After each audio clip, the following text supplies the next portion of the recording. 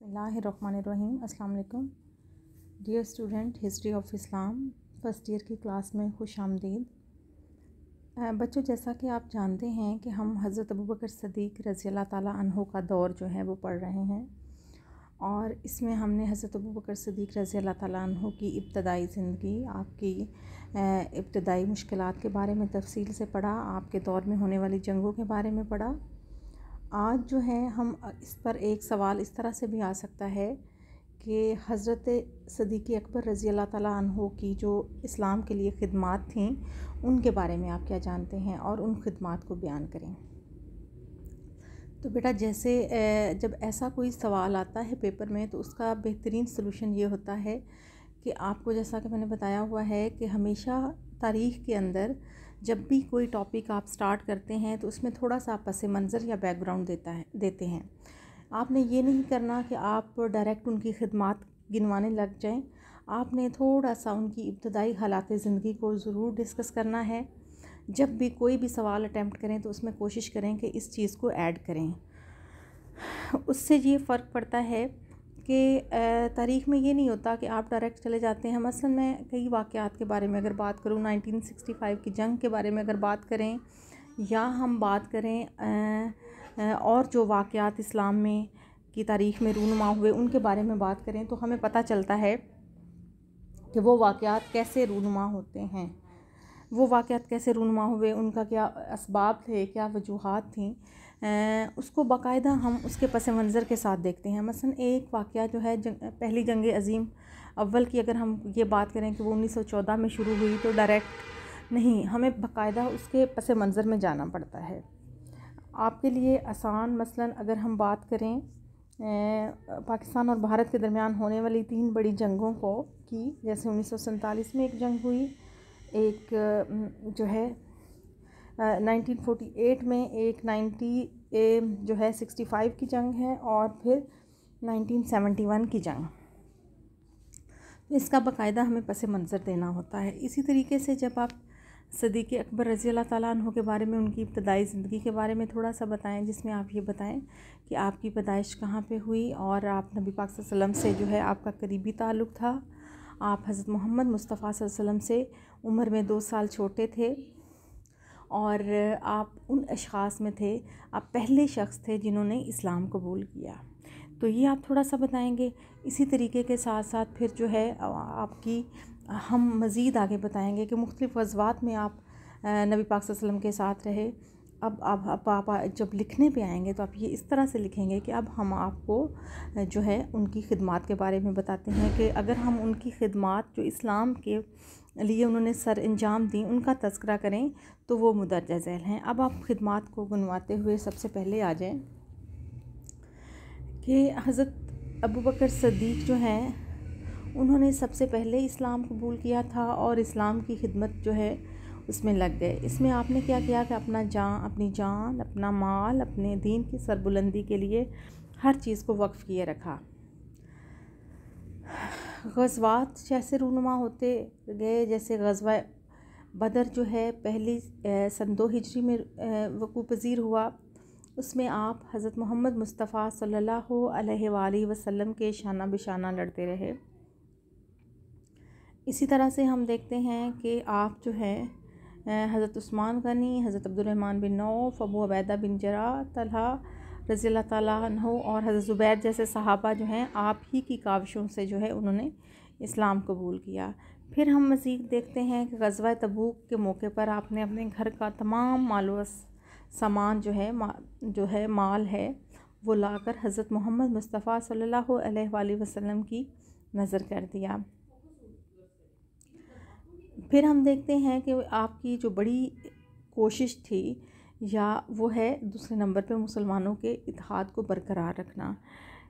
हज़रत मोहम्मद मुस्तफ़ा सल्लल्लाहु अलैहि वसल्लम की वफ़ात के बाद मुस्लिम उम्मा के अंदर जो है एक इंतशार की सूरत हाल पैदा हो चुकी थी। सकीफ़ा बनी सादा नामी जगह पर इंसार इकट्ठे हुए महाजिर और उनमें से ये बातें होने लगी कि जो खलीफ़ा बनाया जाएगा मुसलमानों का वो जो है इंसार में से हो। और करीब था कि हज़रत साद बिन अबादा के हाथ पर जो है वो बैत कर ली जाती। तो हज़रत उम्र फ़ारूक हज़रत अबू बकर सदीक़ और हज़रत अबू बैदा बिन जरा जो हैं जिन्होंने सूरत हाल की कशीदगी का अंदाज़ा कर लिया और कहा देख लिया था कि ये सूरत हाल जो है इस वक्त काफ़ी नाजुक हो, हो चुकी है। तो आप वहाँ पे पहुँचे आपने उन लोगों को समझाने की कोशिश की कि कुरेश जो हैं वो मुज्जिन में से हैं और देखें, हम अगर इसके पस मंज़र में भी जाएँ तो हमें पता चलता है कि कुरेश को जो असर रसूख था मक, अरब के अंदर, वो ये था कि कुरेश को एक बहुत बड़ा इस्तेकाक हासिल था कि उनके तजारती काफ़िले जो थे, वो नहीं लूटे जाते थे। उनके तजारती काफ़िलों को बड़ी इज़्ज़त और एहतराम दिया जाता था और उनको जो है बड़ी कदर की निगाह से देखा जाता था। लोग कुरेश का अदब करते थे।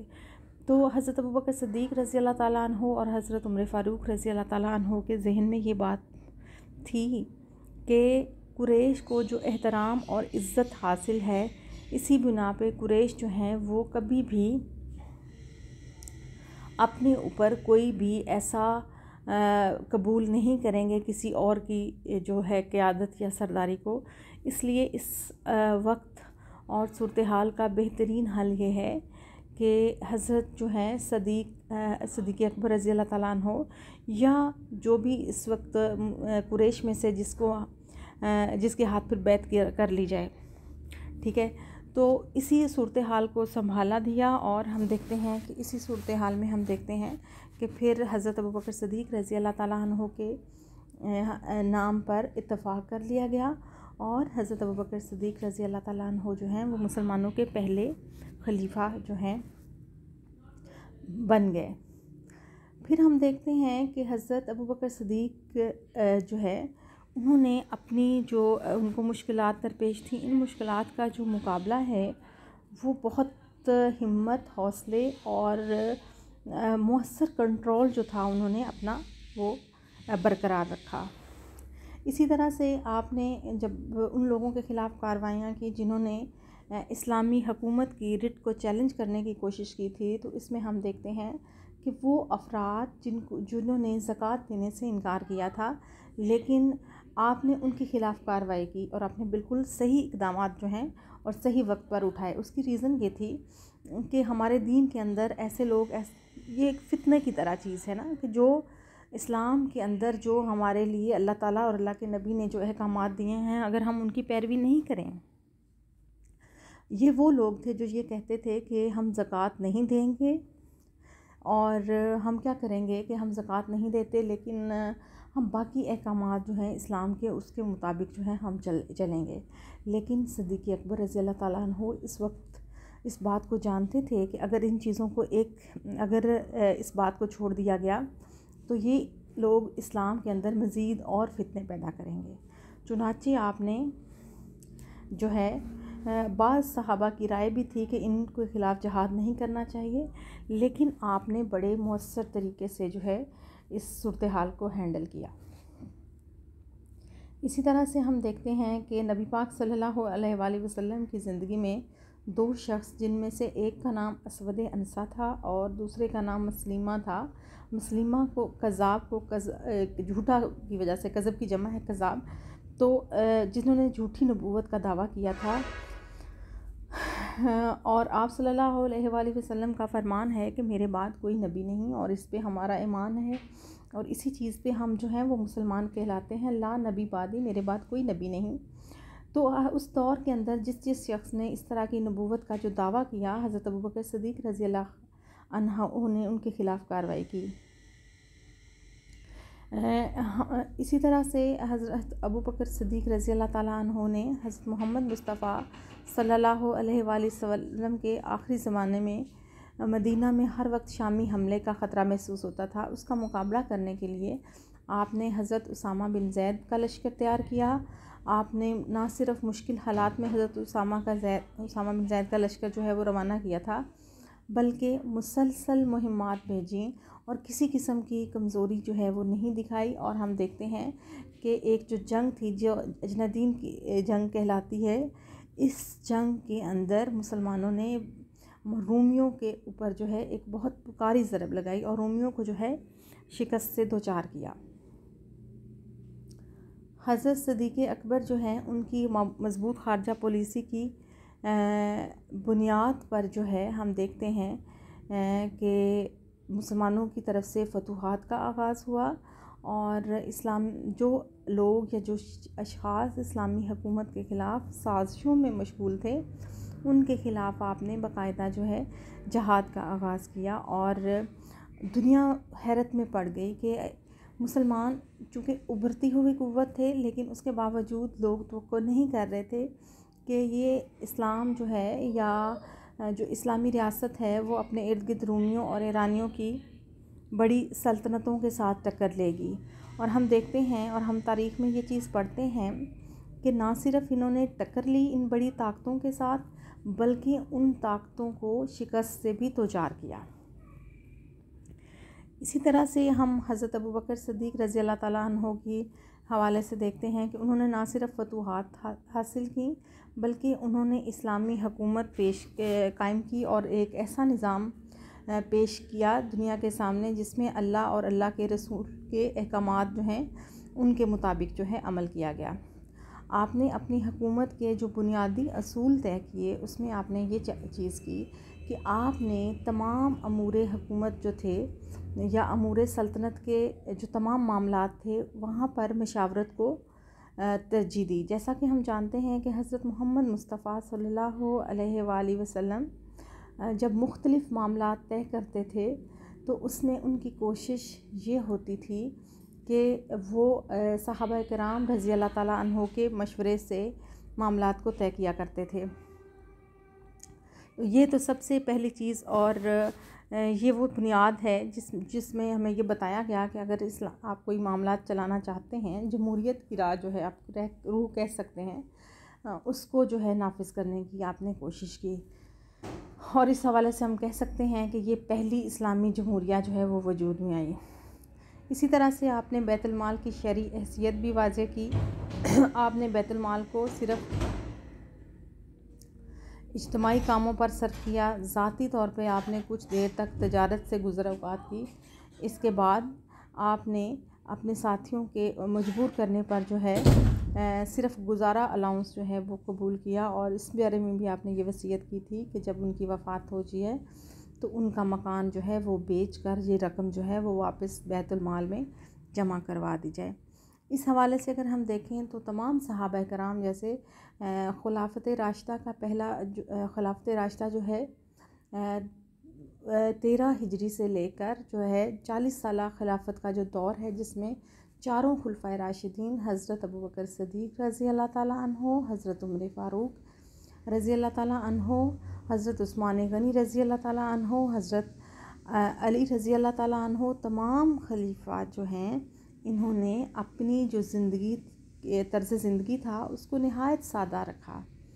कभी भी कुछ भी बैतुलमाल से कोशिश नहीं की कि वो अपने ज़ातियात पर ख़र्च करें। और जो भी उनकी ज़िंदगी थी, नहायत सादा थी। और इसी तरह से हम देखते हैं कि इस चीज़ को जो है, ये जो खिलाफत की, जो है, ये चीज़ जो है, इसमें बहुत ज़्यादा इस पर जो है ज़ोर दिया गया और कहा गया कि अपनी ज़िंदगी को जो है सादा रखें। इसी तरह से हम देखते हैं कि हज़रत अबू बकर सदीक़ का एक बहुत बड़ा कारनामा जो है, वो कुरान पाक का जमा करना है। हुआ ये कि जब मुसलमानों ने मसलिमा ज़ाब के ख़िलाफ़ जंग की तो इस जंग में बहुत ज़्यादा जो हाफिज़ कुरान थे, वो शहीद हो गए। आपने क्या किया कि आप हज़रत उमर की तजवीज़ पर, आपने बर कदम, बर वक्त कदम उठाते हुए कुरान पाक को जो है जमा करने का अहतमाम किया। इसके लिए आपने हज़रत जैद बिन साबित को मुंतब फरमाया, क्योंकि वो हाफ़ कुरान भी थे और कातब वही भी रह चुके थे। उन्होंने उस वक्त के हफाज की मदद से जो है कुरान पाक की आयात को उसी तरतीब से लिखवाया, जिस तरतीब से हज़रत मोहम्मद मुस्तफ़ा सल्लल्लाहु अलैहि वसल्लम रमज़ान में जब्रील अलैहिस्सलाम से कुरान पाक सुना करते थे। इसी तरह कुरान पाक अपनी असली तरतीब के साथ जो है, वो मुरतब किया गया। फिर हम देखते हैं कि ये जो कुरान पाक का नुस्खा था, जो हज़रत बकर सदीक़ रज़ी अल्लाह ताला अन्हों ने मुरतब करवाया,